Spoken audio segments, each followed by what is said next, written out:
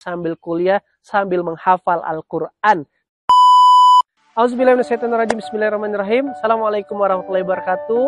Buat semua teman-teman di mana pun berada, kini saya sedang berada di kota Yogyakarta, tepatnya di daerah Jalan Tentara Pelagan, ya kan? Dekat sekali dengan pusat kampus-kampus Sleman, yaitu ada UI, UGM, dan sebagainya. Di belakang saya, Alhamdulillah sudah rampung pembangunan asrama untuk pondok talenta.